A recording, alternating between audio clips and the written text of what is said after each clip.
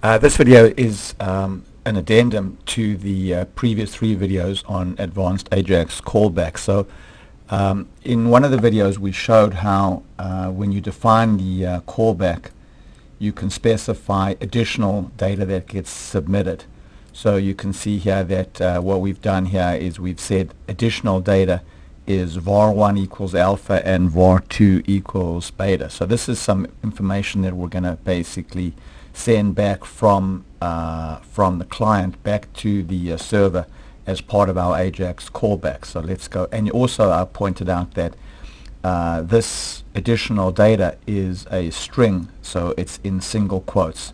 So we'll go ahead now and save it and go into uh, working preview and then click the uh, button and there's the uh, debugger coming up and if I um, look inside the E object over here I'll see that uh, inside E basically we have var1 equals alpha and uh, var2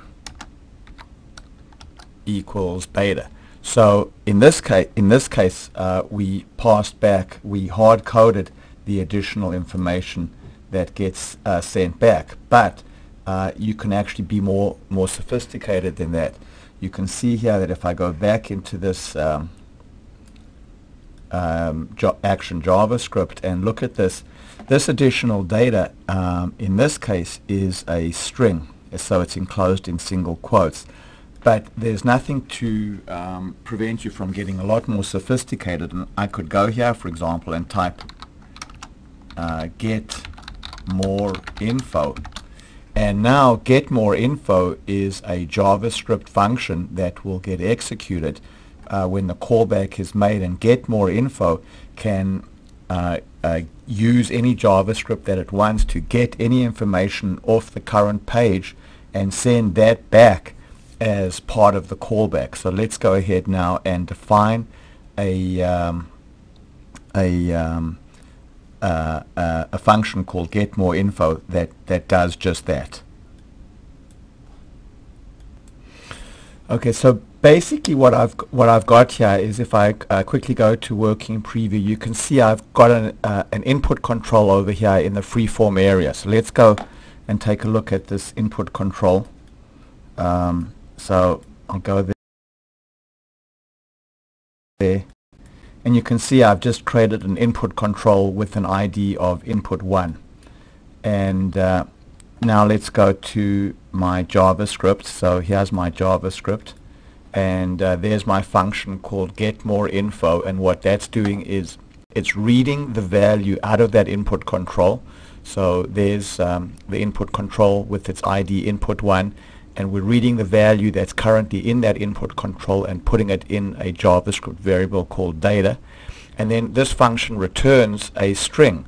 So you can see it's returning var3 equals more info var4 equals even more info and var5 equals and then it's the value that we harvested out of that input 1 control. So this is just a, uh, a string using a, uh, a query string uh, format. So let's go ahead now and save that and uh, run our grid and I'm going to go here and type in some value. So uh, this is in an input control. And then I'm going to go ahead now and uh, click the button to do the callback. And now if I go and look inside E what I can see is um, var3 which is more info. So this is e.var3 e.var4 is even more info. And e.var5 is this is in an input control so the see the power here is is is really great because I'm using JavaScript to read information from the current page um, and this the JavaScript function is then uh, computing a string of additional data to get sent back as part of my AJAX callback. Thanks very much.